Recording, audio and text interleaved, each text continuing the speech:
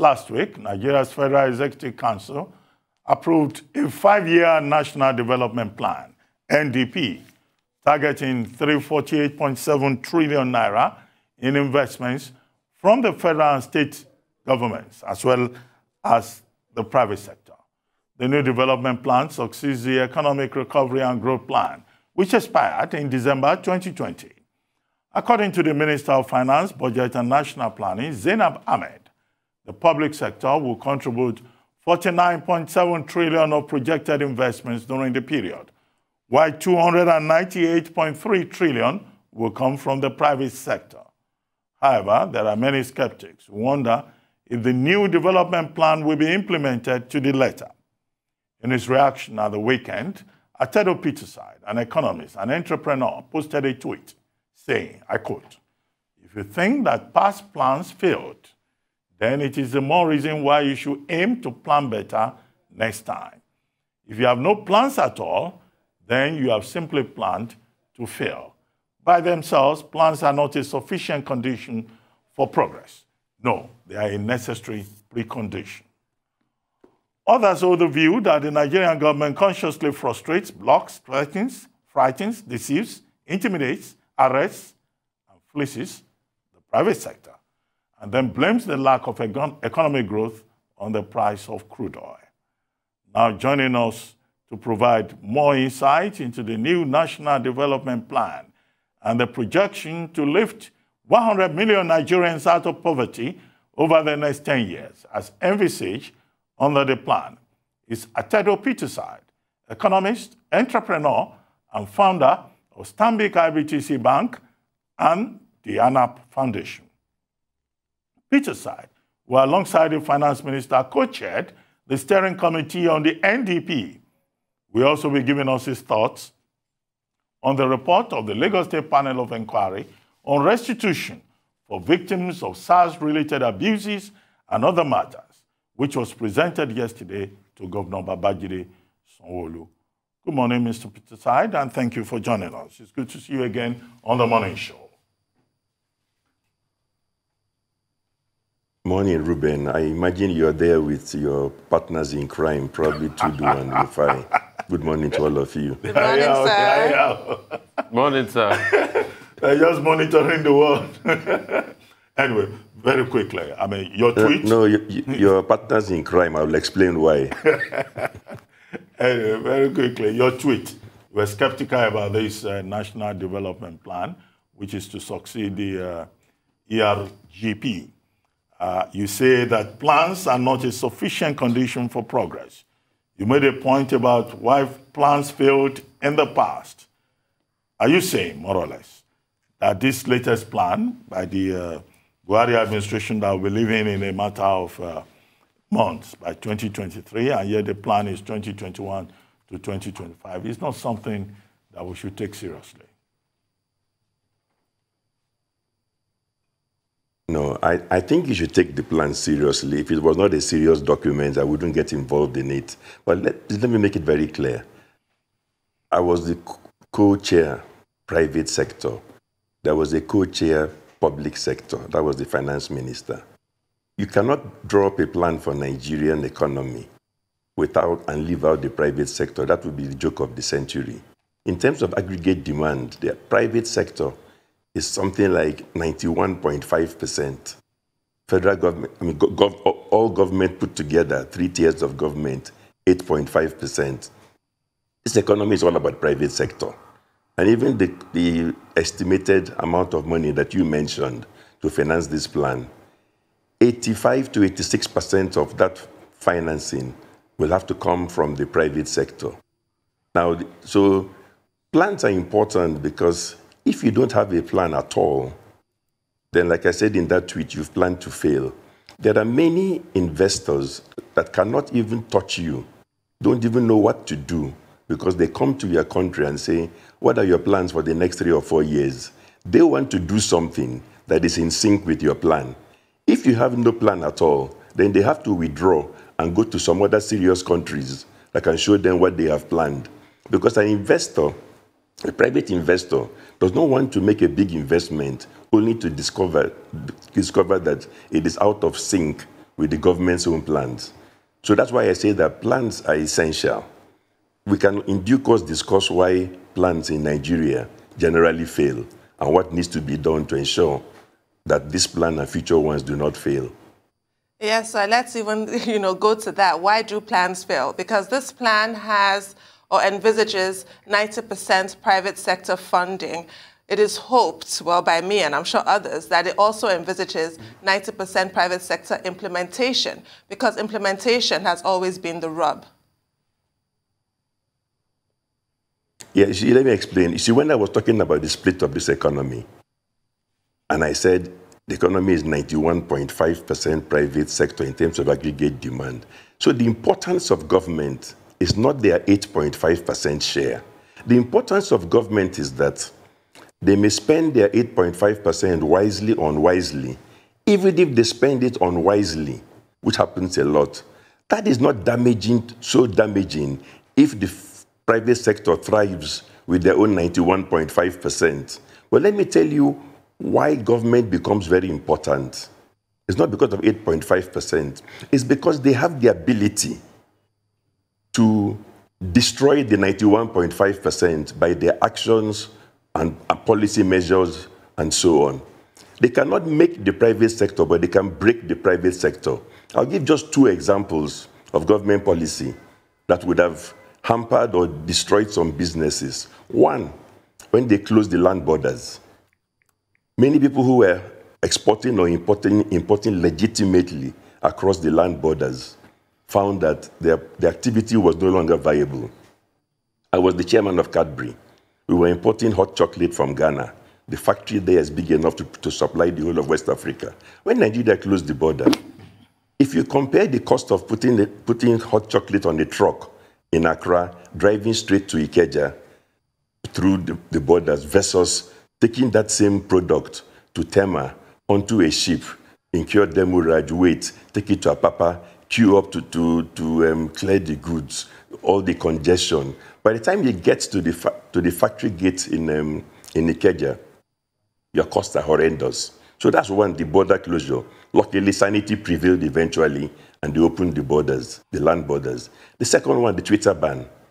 Do you know how many small and medium scale enterprises that use Twitter as a medium for free advertising? They don't have the money to pay to advertise their product on Arise TV or ThisDay newspaper, but they could put out their product on Twitter. So the same federal government comes and destroys their free advert medium, thereby hampering their sales. A, multinational can use other channels to advertise. The small scale, so a small scale enterprise needed that free channel. So I'm just giving you examples of how government can destroy. So it's not their money that's important, it's the ability to destroy the 91, to make or break the 91.5%. Okay. That's the key. Okay.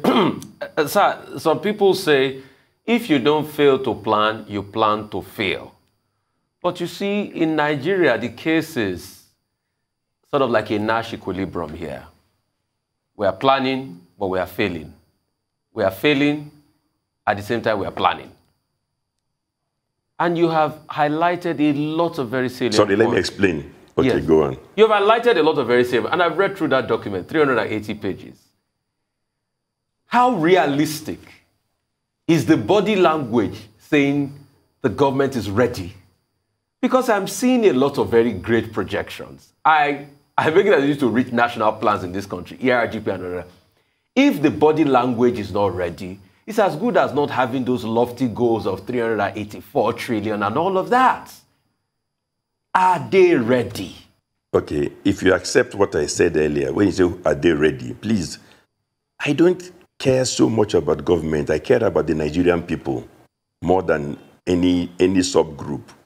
So when we say the plan is the financing is 85, 86% private sector, the private sector is going to invest money one way or the other. And the bulk of the people in this country, their jobs, their incomes, their activities are, are 100, almost 100% private sector. So we have a responsibility to make it possible for the private sector to function and create jobs. But more importantly, I want to remind you that this plan horizon is five years. So it goes beyond the tenure of this government. So even if you say, even if your question about are they ready is with reference to this government, hey, this plan goes beyond their tenure. How about the next government? What, what if the next government may be very ready? In any case, let me also say one thing. There's a reason why in some countries like Germany, even a bit of the US, somebody can come in as a president like Biden and hit the ground running. Part of the reason is that there's a body of information, some homework has been done. So he can get into office, get a, a document in front of you, and know what the next steps are.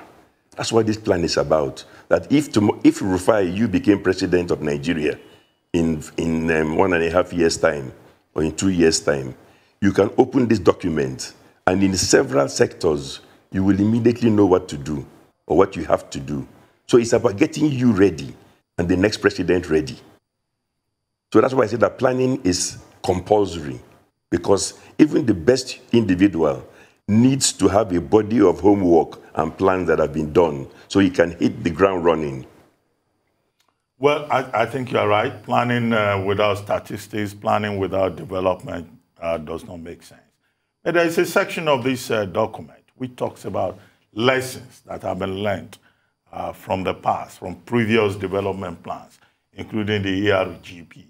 What's rea your reaction to those lessons? Do you think that we have really learned any lessons?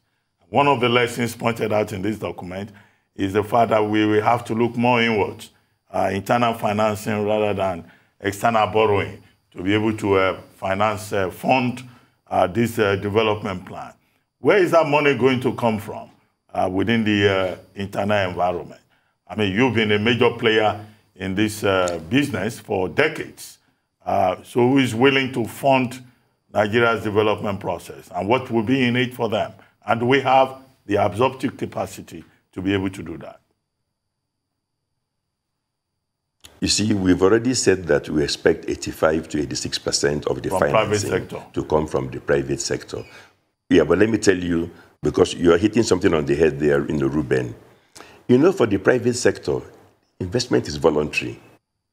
It is your personal money. If Nigerian government misbehaves, you can take your money and run away and invest zero. If Nigerian government behaves very well, you can get bullish and want to invest even more. So you're right that it's all very well projecting that all things being equal, private sector has the ability. All we are measuring is private sector has the ability to provide this level of financing. All that is subject to a level of good governance and government behaving well. If government is in the mode of destroying the private sector, then the private sector investment will disappear. Because the beauty of, of this 21st century is that most investors have a choice. You can invest in Nigeria, you can invest somewhere else. So there are choices to be made. So all we are saying is that this is the potential of the private sector, but it's subject to some minimum level of good of, good, of governance. And the last comment I will make is that about lessons of the past. You see, if you just write a plan and you bring it out and you announce it in FEC and you put it on a shelf, chances are that not, nothing major will happen. Countries move forward when they have a good plan and when the citizens hold the government's feet to the fire and demand good governance. So you can't separate the two. So you need a form of political activism from the youth who are the majority and and who, who force governments to think and, and meet the, the, the, projections and the demands. Look at France. President Macron was got in there because the youth put him in office. Right now he's sweating because the same youths are telling him that he's disappointing them. You need a bit of that to get people in office to put on their thinking cap and know they have to deliver. If you allow anybody to be in government, you don't challenge him, you don't hold him accountable, you don't point fingers at them, the chances are that you will get plans not being implemented. So what I'm saying is that there has to be a new level of active activism, largely from the youths who are the majority, to make people in government believe that they will be held accountable. Only then do you start making progress. But if the youth resign themselves and think, well, all is lost, they can do as they like, then guess what? They will do as they like. And we will remain where we are, rock bottom. Well, we'll certainly get onto the topic of youth political activism on that EndSARS panel. But before we go there, I want to talk to you about projected GDP growth in this plan, which is more conservative than the last plan, the Economic um, Recovery Plan, which was 7% projected GDP growth. Now we have 5%. More conservative, but in some minds still overly ambitious. What informs that 5% projection? Okay, let me just point out that projections were done the way all projections are done you put your assumptions out, realistic assumptions, and all things being equal, nobody does anything very, very, very stupid. We start, the economy be, has begun to recover a little bit. Hey, you're right to do. That little recovery can be destroyed in no time through bad policies. So there's an assumption that some key things in the plan will come to pass. Let me just mention one of them. Somewhere in the plan, you will see that there is a projection that government revenue as a share of GDP should be aiming at 15%. Right now it's at 6, 7%. 6, 7% is a joke. 15% is realistic. But let me tell you why it's realistic. It is realistic only if you bring back the trillions that we currently squander under the name of petrol subsidy. So there are some things that you can do that immediately change the, change the equation in terms of available resources. You can continue to fritter away resources, and then we stay where we are. So there are a number of things that have been assumed. One other thing I'll mention, just so that it doesn't get too boring. There's a mention in the plan that we've got, we've got to keep costs in many government agencies at no more than 50% of the revenues they bring in. All those things are achievable in most countries. But in Nigeria, partly because some people don't understand, nobody holds anybody accountable, you have so many government agencies that the only plan they have is to consume all the revenues they bring in, consume it all on themselves. So, which means that their real unwritten plan is that whatever money that comes into our hands, we will finish it on ourselves. So, this is an attempt to tell them, no, you can't do that. You can only finish 50% maximum. Now, whether the government will follow through, whether people understand all that, it's a different ball game. If some people don't understand it today, hopefully some tomorrow will understand it. Mm. But these are the things that have to be done if Nigerian economy is ever going to improve. Okay, sir. You see, that's why I asked earlier on. And I'm sorry, sir, I will bore you. I will ask the question again. Are they ready? Because you just talked about a very touchy issue, government spending and revenue. We had a, a plan on table many years ago called the Oronsaye report to address that. The report is gathering dust. Now, in this new plan, we are still putting something of sort of the Oronsaye report we ought to have implemented long ago. And secondly, I want to go to specific sectors. In restarting the Nigerian economy or improving on the Nigerian economy, I see rail as a veritable factor of growth, transportation. But I don't see a robust measure of a private sector participation in the rail system. I read extensively through that. I just saw a lot of, okay, the government is doing this, doing that. These are the projections of the future of the new rail lines. I would have thought in a plan, for instance, I would have thought that newer lines will be expanded upon by the private sector. And I'll give you just one instance. There is a narrow gauge line that goes to Ibadan, the old narrow gauge line that terminates at Dugbe. I keep making a case for the line because it's a historical legacy line. And that line can be used to ferry agricultural products. But since the standard gauge was done, nobody talks about that rail line again.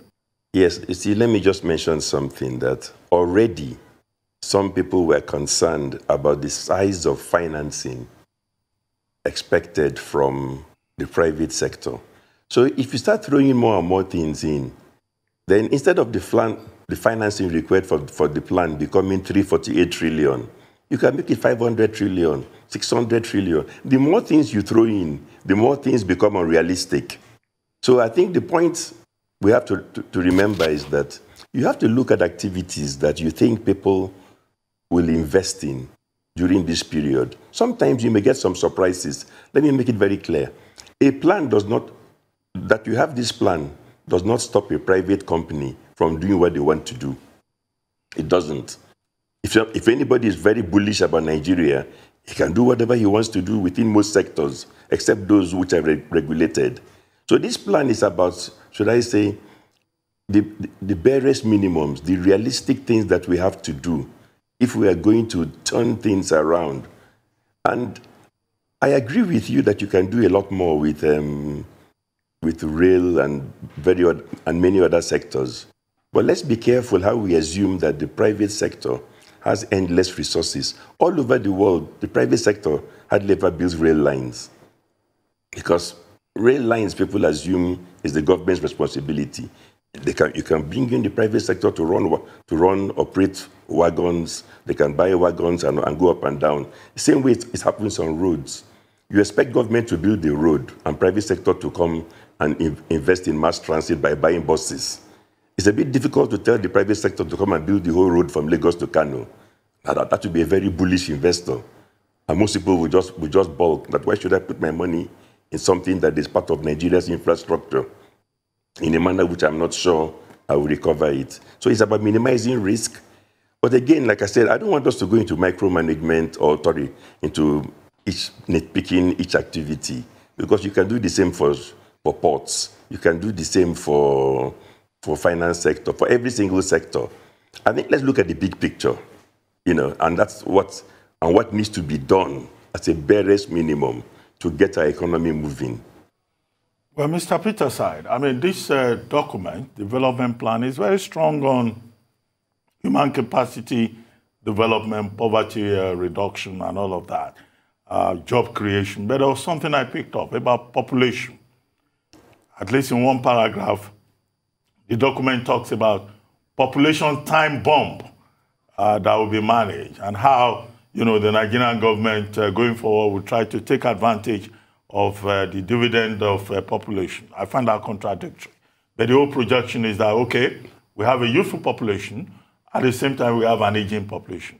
This population time bomb that everyone talks about, is it real? And uh, what can anybody do about population? The same people making the policies uh, produce uh, 50 children, 100 children. They marry even 15-year-old girls and, uh, you know, produce. Uh, so are we really sincere when we talk about population in relation to economic growth in Nigeria? You see, I've explained before that Nigeria has two strengths when you talk about, about human development. Our population is our strength, and our population is also our weakness. And let me explain that. Our population is our strength in terms, in terms of potentially we can have a, a large educated workforce, lots of youths who can be available to drive this economy. But that same large population, if it's a large population of many illiterate youths who didn't go to school, who take up arms and expand banditry and terrorism and so on, then that same, those same large numbers become a curse. Now, the task of govern, government is to manage the two, channel more youths into productive activities, and, and, and at the same time, deal with the errant youths who have taken to banditry, terrorism, and things like that. But you can fail on both sides, which means that youths that you should be trying to galvanize and put into the productive economy, because you so mismanage the entire process, they go the other way, which is take up arms and, and it becomes a free for all. That's why some people say that Nigeria can easily become a failed state. Thank you, sir. Before I take your thoughts again on the youth question. Maybe I should just ask that first. Obviously, the report of the panel instituted by the Lagos state government has been released, and it is damning to say the least. They described the attack on peaceful protesters, resulting in their murders, as a massacre. I'd like your take on that. But I also want to share a comment with you that um, one of our viewers has sent to me, and I think it's very important. He says, What happens when this magical private sector misbehaves? AMCON is a monument of the private sector mess being cleared by government. Private sector ran down banks, airlines, and all companies. So he'd like you to be more critical of the private sector. Okay, first let me let's not mix oil and water. Let me talk about the judicial panel's report first. I think the judicial panel's report. First of all, let me commend the judicial panel because many of us were not sure that they will stand up and be counted, and I think they've done so. You know, so let me commend them. But you see, but when I saw elements of their report, highlights of their report, I didn't know whether to laugh or to cry. When I say cry, it's for the victims. Nothing can be worse than losing your son or daughter and having people in government deny that your son or daughter died at all. So you're left in limbo while mourning. So that makes me want to cry. But when I say laugh, it is tempting to laugh at those in government who came out and started making all kinds of wild, wild statements. And please, that I'll make a distinction. There were two kinds of people in government. There's an old English saying that fools rush where angels fear to, to tread. There were many in government, if you notice, they kept quiet. They didn't say anything because they probably smelt that something was wrong. But then when they say fools rush, some people were jumping out making statements. Even from their own statement, it was clear that they were not present in Lekki or in Lagos. Why would somebody who was in Abuja be, be, be making statements about what happened or did not happen in Lekki when the named soldiers who were in Lekki have refused to open their mouth and say anything in front of a judicial panel? My, my assumption as a layperson is that the person who was on a crime scene knows that if he goes to a judicial panel, takes an oath, and they ask him, Did you or did you not kill somebody? Who did you shoot? He could be in trouble. So if that person is running away, I expect others to have the wisdom to say, Hang on a second, don't ask me any questions. Go and ask those who were on the scene. Now, coming back on a lighter note, when I accused them, um, Reuben, Tundun, and, and um, Rufai of being partners in crime, please, it's not me accusing you. I remember when the government accused you guys of being partners in crime, that you falsified information on Lekki toll gate and all. So it's not, it's not me calling you partners in crime, it's the government or some government officials, some overzealous people in government. At the end of the day now, we have some heroes from this exercise. And it's at such moments that nations get formed. If there was no Lekki toll gate, if there was no Lekki toll gate, there are many things that may never have happened in this country. So Lekki toll gate incident of October 20 last year may well be an important tipping point. Let's wait for the, the uh, white paper from Lagos State government. But from the little we all saw, and we've got brains, I would, I, I would like to see how Lagos State will not prosecute people who were involved with the cover-up. How Lagos State will not prosecute people who refuse to appear before a judicial panel Look, in the US, that US Capitol incident, five people died. Only one was a bullet wound. The others were either, they said, natural causes or drugs and so on. Here, many more people died, and we know that. So we must take it seriously. Whoever is in, in charge of justice in Lagos must rise up. This is your moment to stand up and be counted. Nigeria is not going to change until people stand up. The judicial panel have stood up and we must clap for them. Now we watch others. The governor of Lagos must meet his own obligations. And like I told the youth during EndSARS, yes, you are angry. This judicial panel report might make you even angrier because the evidence is there that people were lying. But that anger should be channeled at something, and it should be channeled towards the next elections, which is in 15 months' time. All right. I mean, you've, you've said a lot as regards this. But I also want to take you on this, you know, EndSARS Judicial Panel of Inquiry issue and all of that. In all of this, as a nation, introspecting this morning and still mourning, what should be that process of our national renewal and healing? Because with that report this morning, it's safe to say we're a nation in mourning. What should be that path to national renewal and healing? Okay, I, I will link the answer to this question to the one that I didn't answer from Tundun when she was talking about private sector not meeting up to, to the, its own obligations. I cannot hold brief for the private sector. There are rascals in government, there are rascals in the private sector. There are rascals everywhere. So I'm not here to hold brief for anybody because I'm private sector. I know people in, in private sector whose actions are disgraceful, same as those in government. I'm not holding brief for anybody. But when you talk about national healing, uh, national reawakening, there are some fundamental pillars. One, we have to build a society that's based on justice. We have to fight injustice. This Lekki Tollgate Judicial Panel white paper is all about justice and injustice. When you don't have justice in the society, we're in trouble. The other thing, if you put aside justice and closely linked to that, is the truth.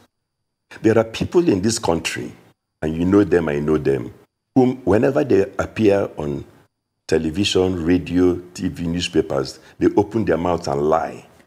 They are liars. You can't believe anything they say. A nation that prominent liars are at the forefront will not make any progress. Because it becomes dangerous because even when they're trying to tell the truth, nobody believes them. Now, we have to make a separation as a nation. Are we going to pursue justice and the truth? Or are we going to pursue injustice and lies? You cannot have both. And, and, i know that the majority of Nigerians are for justice and the truth. But guess what? The majority of those people who are for justice and the truth are not active enough politically. And many of them are, are quiet. We have to find our voices and rise up against injustice and lies. Let us shame all those liars. Well, Mr. Peterside, well, we seem to have run out of time, but before you go, uh, let me bring up uh, on the lighter note, on a lighter note, the fact that uh, you were seen on Twitter. Are you in Nigeria or you are abroad, uh, where you have the freedom to go on uh, Twitter? Be before people say, oh, you showed uh, Mr. Peterside on Twitter. Yes, I will tell you again, because I will not join the liars whether I'm in Nigeria or I'm, on, I'm abroad, I'm on Twitter. There is something called VPN that makes it possible for you to remain on Twitter, whether you're in Nigeria or abroad. I'm on VPN and I have no apologies for that. It is my right to tweet and to express myself freely in Nigeria or abroad. Thank you. Here, well, thank here. you very much. Thank you very much, Mr. But right now, right now, I'm in Lagos. Okay. thank you for joining us.